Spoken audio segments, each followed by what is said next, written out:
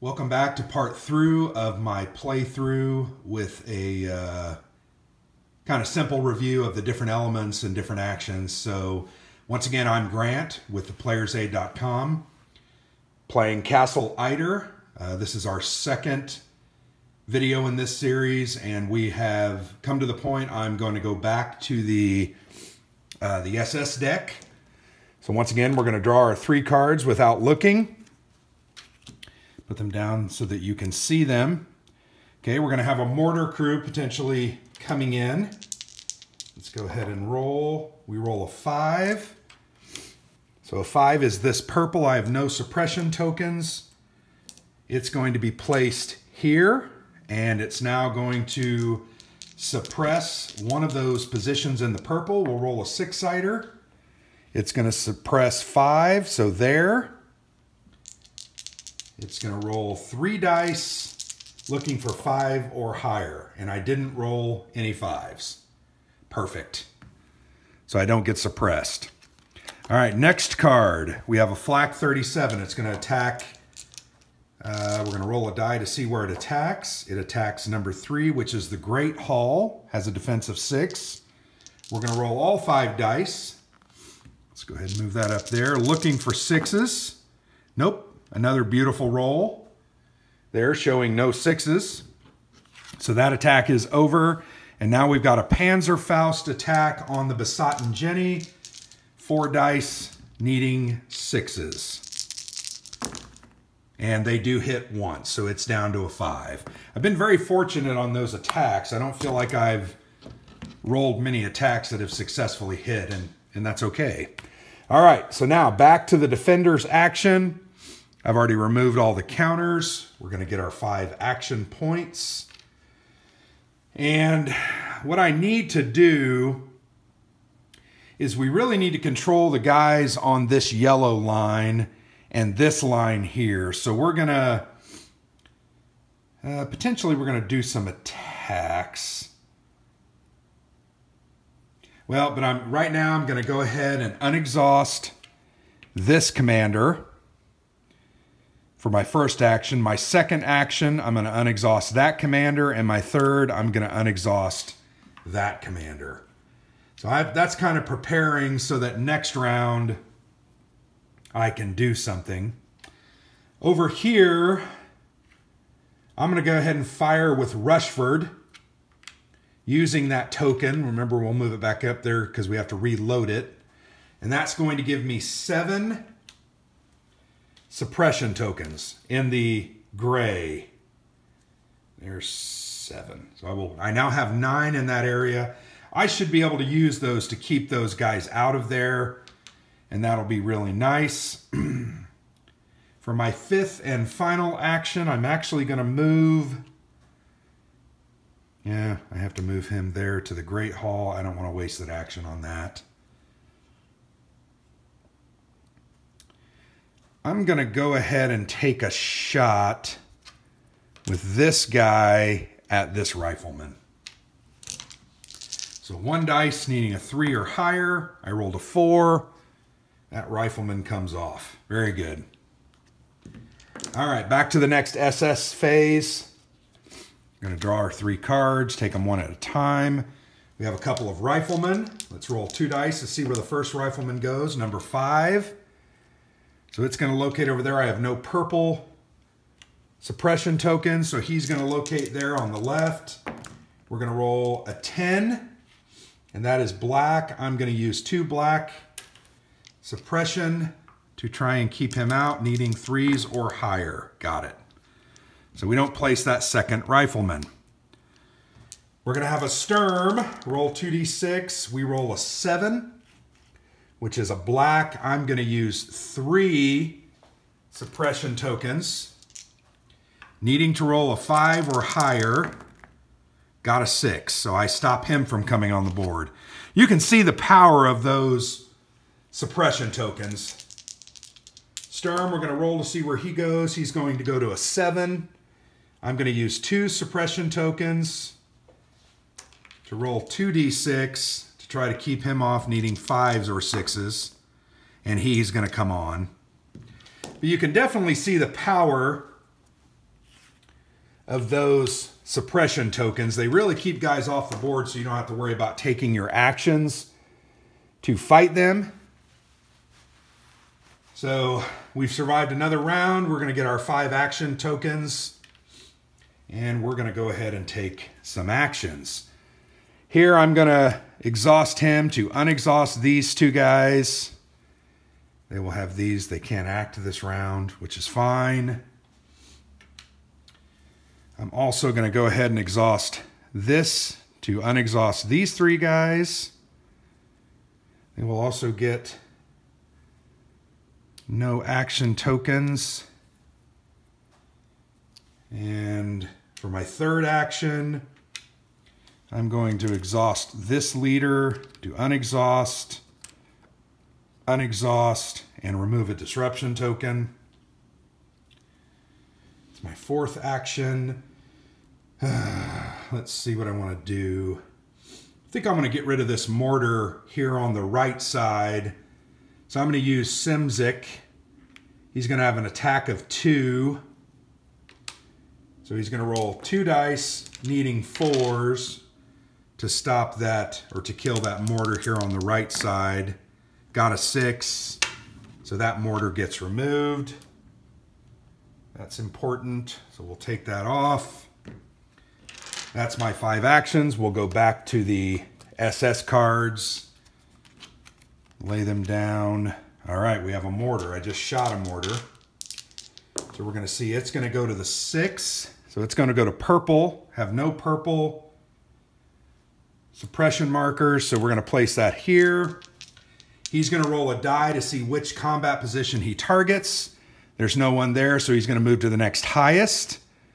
So this guy's going to be targeted. It's going to roll three dice, needing fives or higher.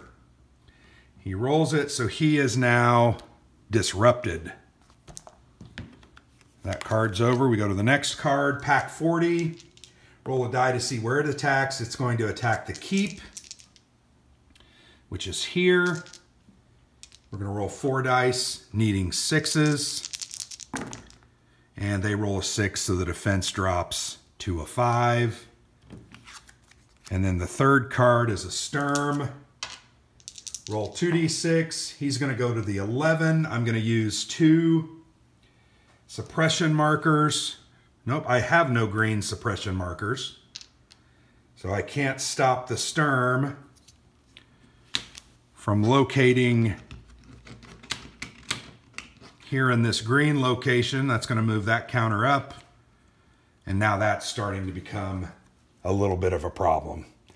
And those Sturms are just hard to kill. They're fives. You need fives or sixes. It's just hard to get it but I need to get at get it get at it and uh, try to get through these guys. Need to get them off the board. I think this this round I'm gonna try to target all attacks just so I can try to get some of these guys off the board, get them off my back. Okay. Um,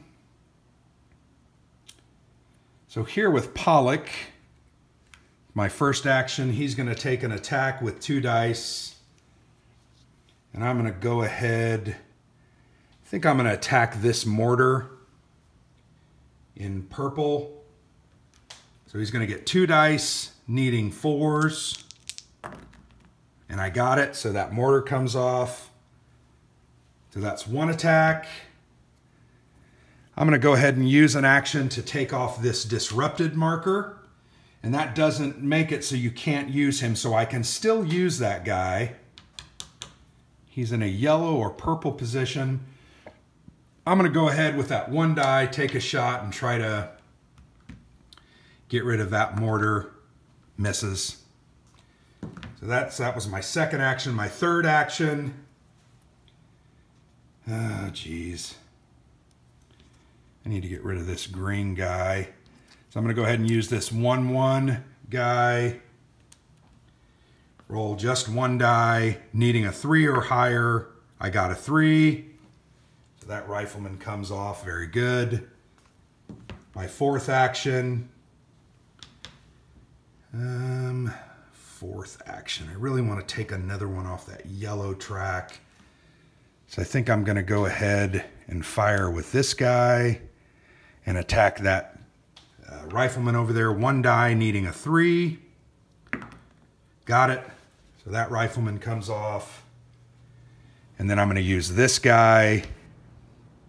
Or did I use him to? I used him to. I should have exhausted him. I didn't exhaust him.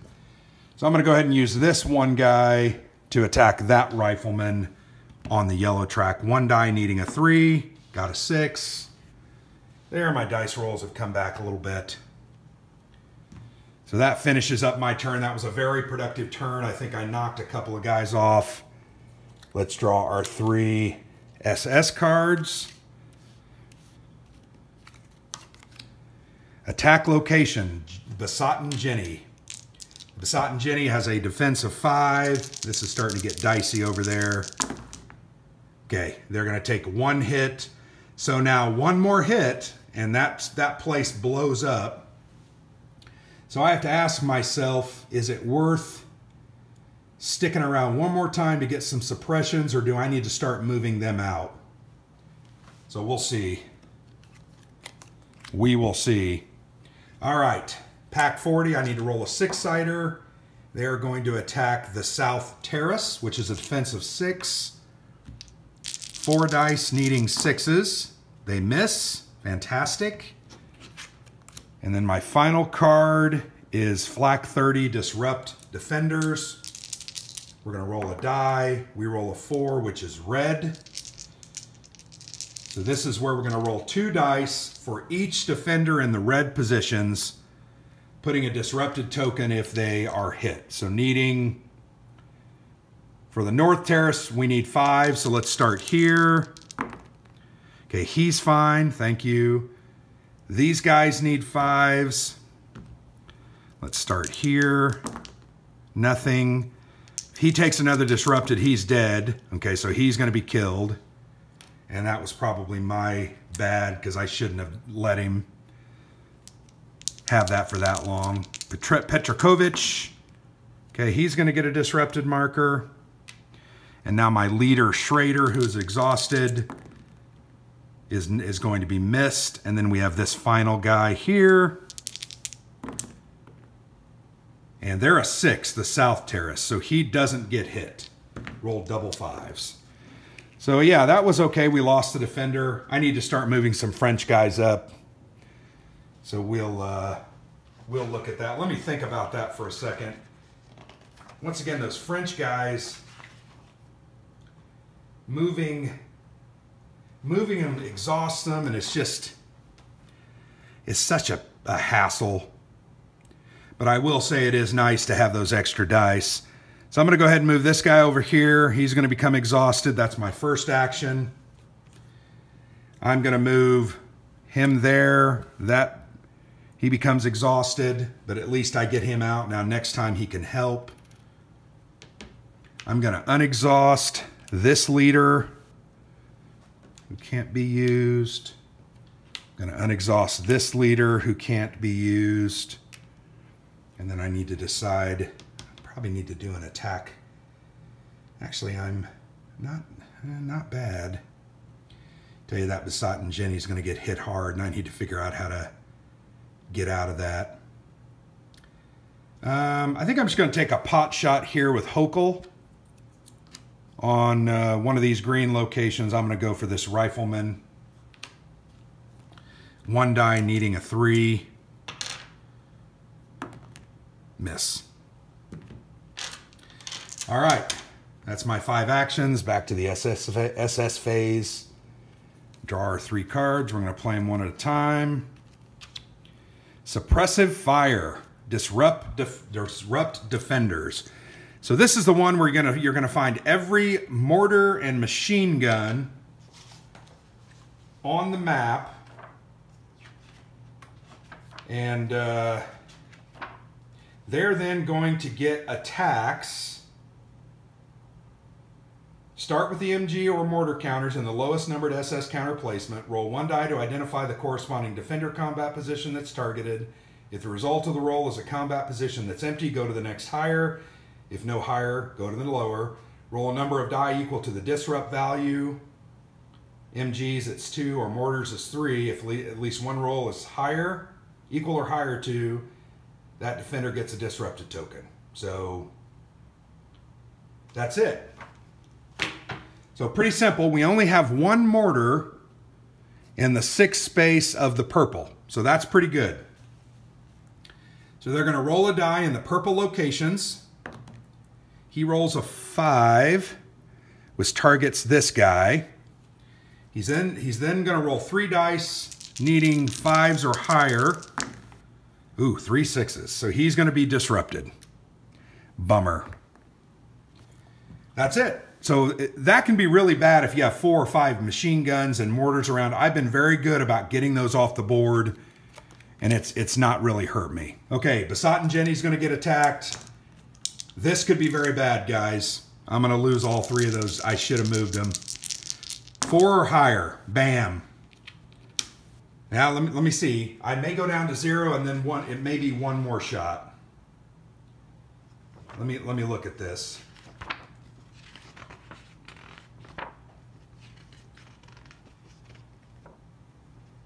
Let me look at this. Sorry.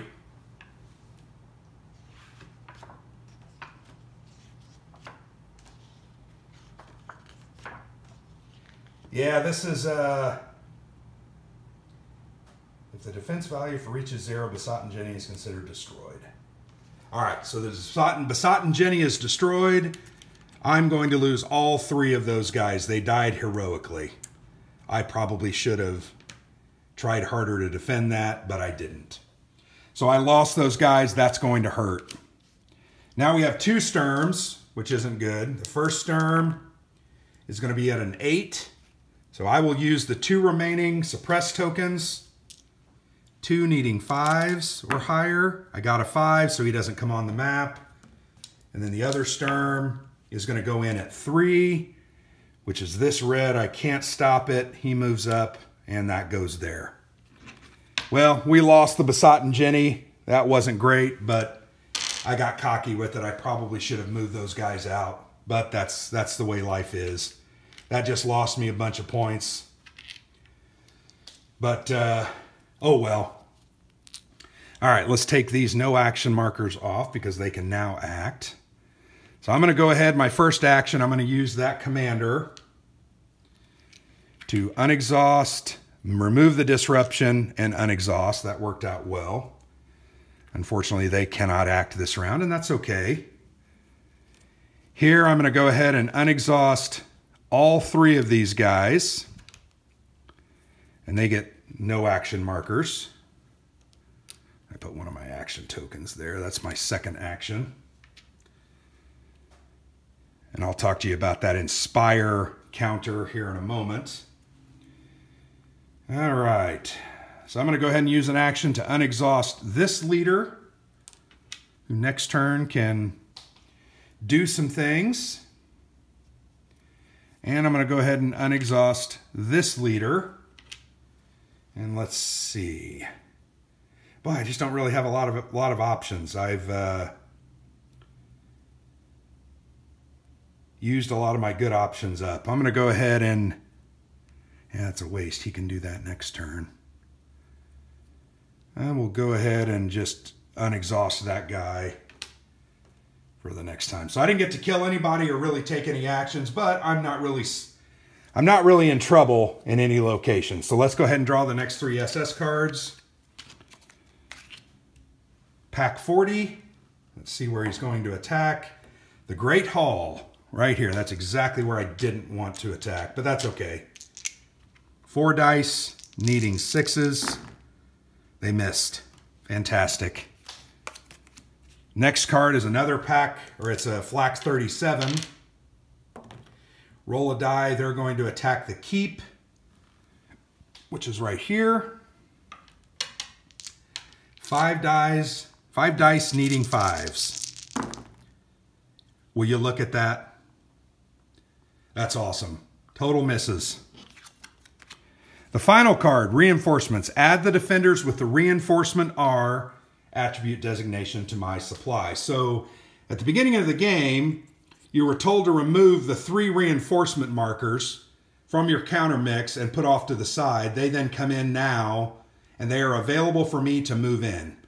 They're uh, better at suppressive attack than regular attack, so I will probably move them around and try to get some suppression markers out.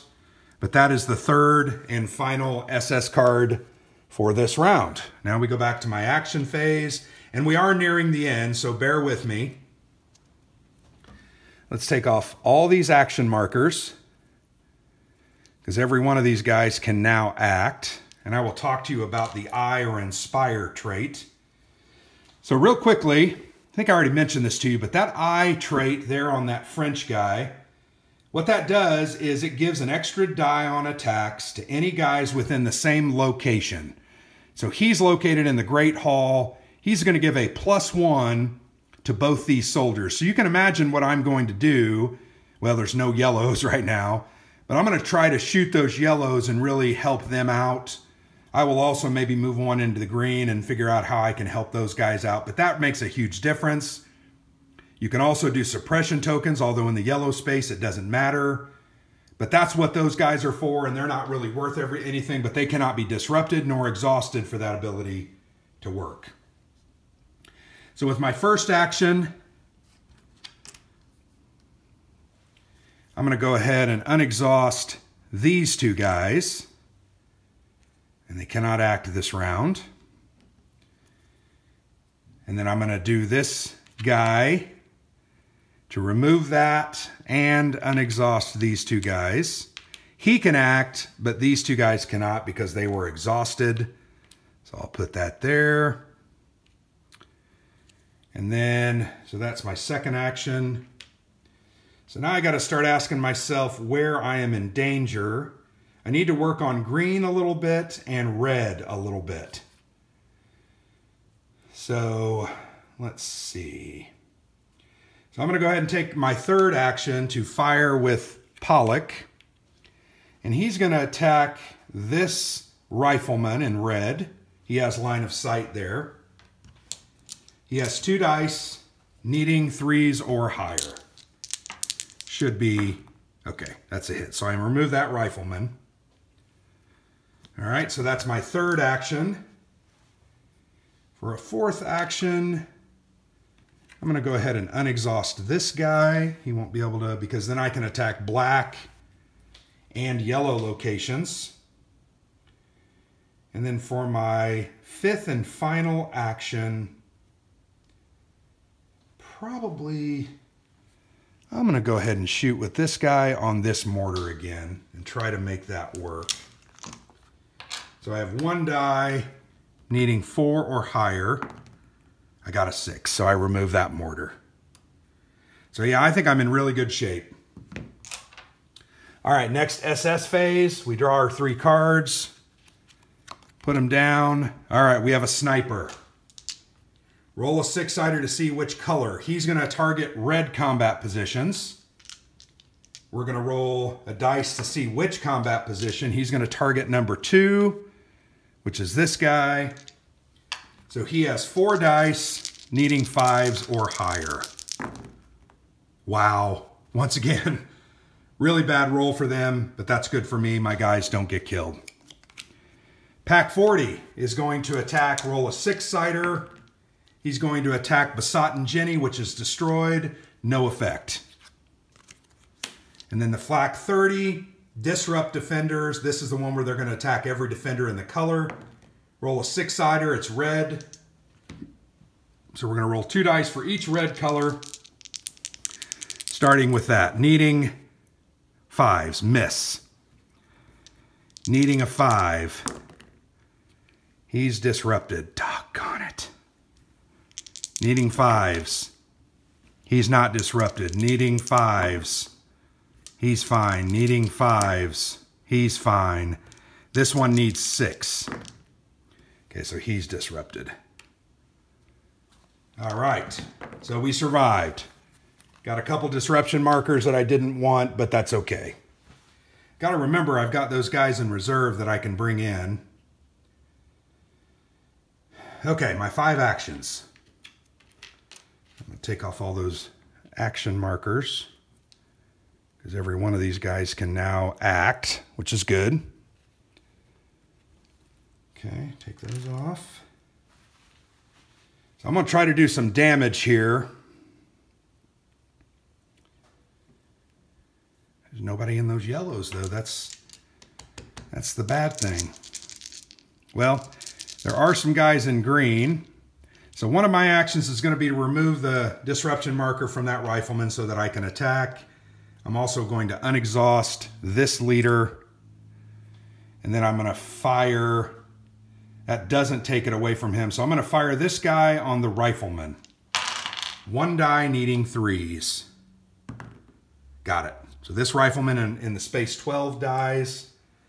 And I flip him over. That was my third action. My fourth action, I'm going to go ahead and fire with this rifleman on this scout. So this is, I need fours, a little harder roll. One needing a four, got it. And for my fifth and final action, I exhausted him, really cleaned those out. I can't fire with the red, or I can do the reds. I'm gonna go ahead and do this guy. Fire on that rifleman, because that's red. One die needing three. Okay, I got a two and missed. That's okay. So those are my five actions. Back to the S, and we're getting close to the end. I can pull those in card at in card at any moment. Rifleman, we're going to place three of these bad boys. And this isn't good because I have no suppression markers. So they're going to go wherever they go. Rifleman 1 goes in number 6. It's right there. Could be worse. Rifleman number 2 goes in number 9. That's over here. So that scout's going to move up.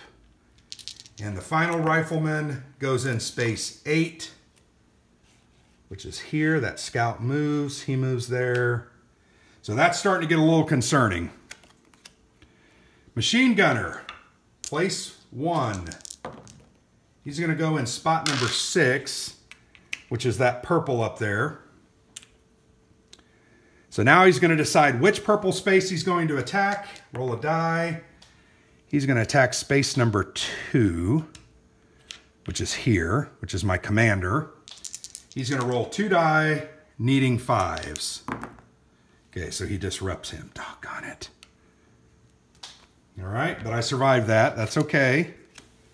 And then an attack on number three, which is the Great Hall, which has a defense of six. Five needing sixes. All right, they rolled a six.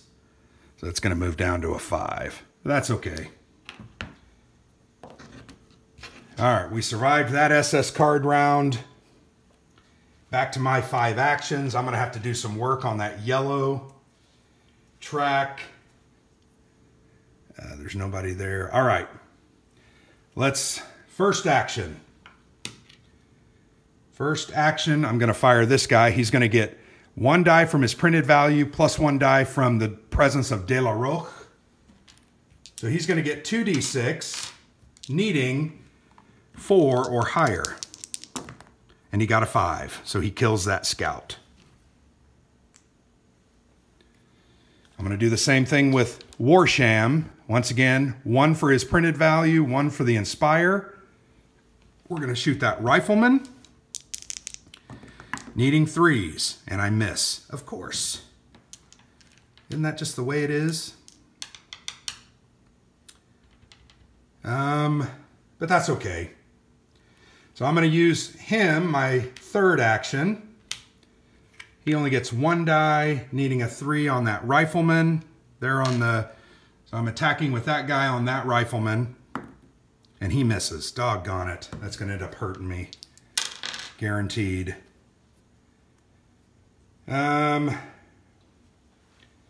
so I'm going to go ahead and unexhaust this leader. And I'm going to unexhaust this leader for my final two actions.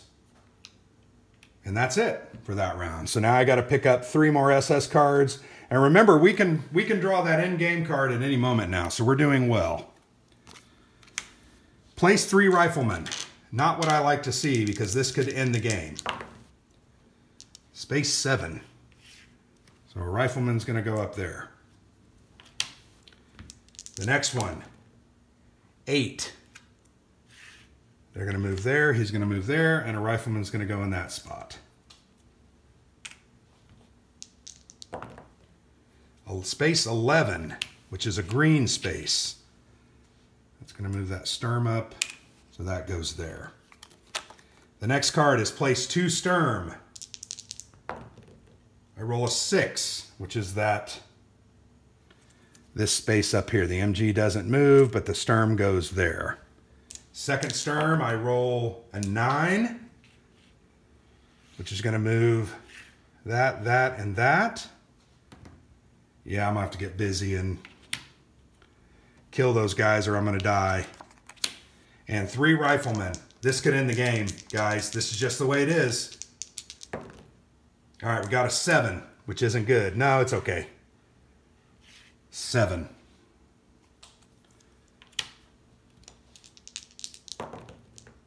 We roll a nine, which isn't good.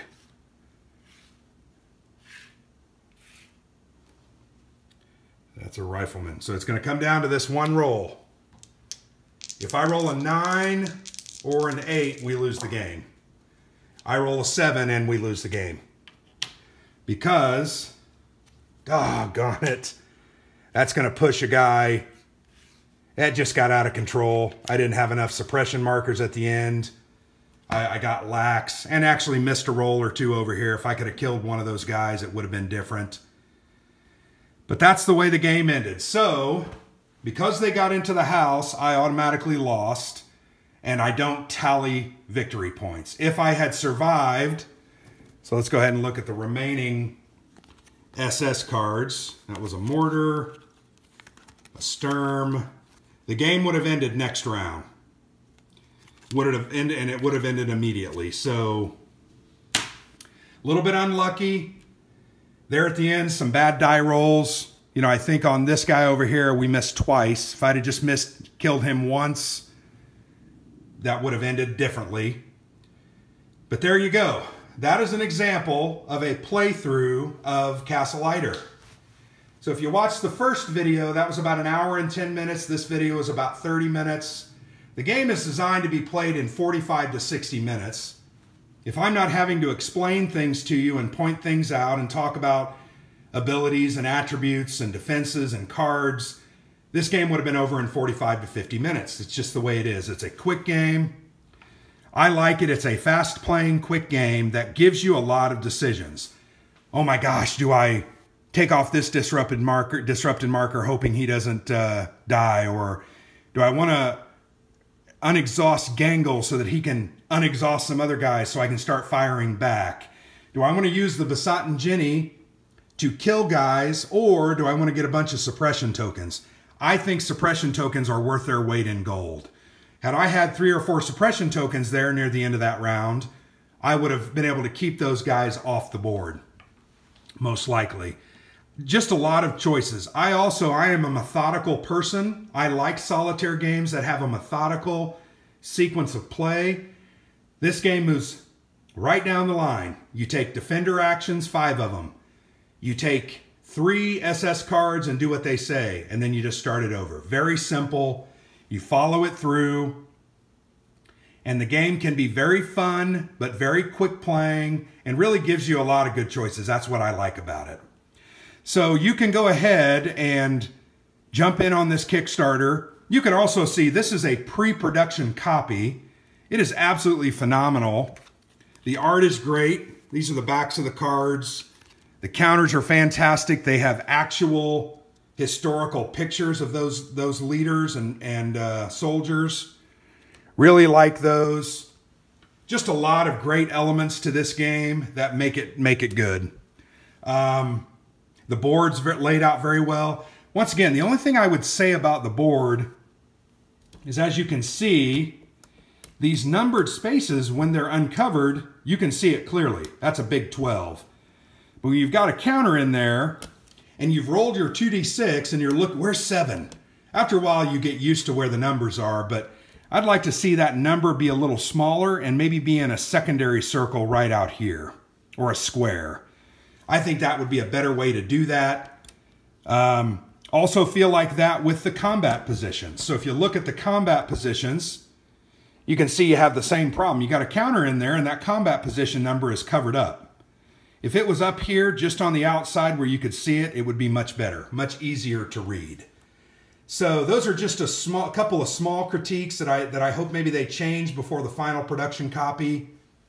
But this is definitely a fun game well worth its cost because of the production, the play value, the replay value. Like I said, now this is the, I think the fifth or sixth time I played. It's still as fun as if I hadn't played it yet.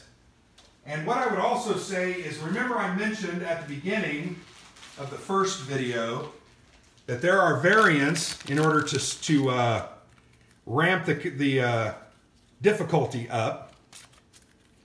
There are what are called, and I've played with the tactics cards twice and gotten destroyed both times, but there are tactics cards that come secondary. And what you're going to do is you're going to build a deck based on the instructions in the scenario book. You're going to build this deck, and then each SS round, you're going to pull one of these cards, and this card will be active for all three of those SS cards. So get looking at this, and you can see the one in the bottom. So this one's going to coincide with the one deck. This one's called Barrage. When resolving an 88 millimeter flak 37 or 75 millimeter Pak 40 card, roll one extra die for the attack roll. So what's going to happen is these cards are going to make it easier for the SS to do something to you and also make it very difficult for you. So yeah, you can see there's a bunch of these tactics cards. There's several for each. And when you set them up, you're going to take out a certain amount, so you're not going to play the same ones over and over again. But this is an option to make the game a little more difficult, to ratchet, uh, ratchet up that difficulty. And I recommend the tactics cards after you've played a couple of times to understand. One of the other things we didn't really talk about, and I might have made a mistake on, probably did, but there are these these low morale fighters. These are see the M. When one of when a counter in that area is targeted and it's killed, these morale low morale counters will also be killed with it. It's like they break and run. But you'll notice I have an officer located in the same attack area because if he's located there, that nullifies that uh, negative ability. So you can see I tried to spread them around. I put an officer here with that rifleman. Uh, here's officers there, but I don't have any riflemen. So those extra abilities are very neat. You got to pay attention to them. I like the strategic concepts that you have to think through to make sure you have the get the most out of your guys. I didn't use the inspires as much as I did have in other games. But ideally, you want one of these French Inspire guys almost in each area giving you more dice so that when you're attacking, it's easier. I didn't get that going this time. I was more concerned about suppression tokens and then trying to clear the north so I could get Bat, uh, Borotra out, which I was successful in. I just knocked some counters down. But I, I, like that element, that planning element, trying to make sure your resources are in the right places at the right time. Really like that concept. And and once again, the the AI is very well done. You roll 2d6 for most every placement, and you just place them where they're supposed to go. And I, I really like that. I think this game is very good. So well done, David. DVG does a great job in not only running these campaigns, preparing them, creating great stretch goals. I don't know anything about the stretch goals, but then fulfilling them quickly. They do a great job. So if you back this one here at the end of the year, my guess is it'll be out in June, give or take. I have not read anything that tells me otherwise or tells me that's the case, uh, but that would be my guess. So definitely look for Castle Itter. And if you also want to play a game that's similar but has some different elements, Pavlov's House is very good, made by the same designer and uses a similar system. I love that game. I've played it 15 or 20 times. Um, so there you go. Uh, appreciate you watching. If you have any uh, questions, put them down in the comments below. If you liked our videos, please like and subscribe to the channel. We do war game reviews, board game reviews, strategy articles. Uh, we take a look at mechanics, different styles and types of games. We also try to share with you what's new and upcoming. We do designer interviews, although we've feel like recently we haven't done many, uh, but we definitely work hard on that. So check out the blog at theplayersaid.com. Uh, and I've been Grant, and I've appreciated this opportunity. Thank you.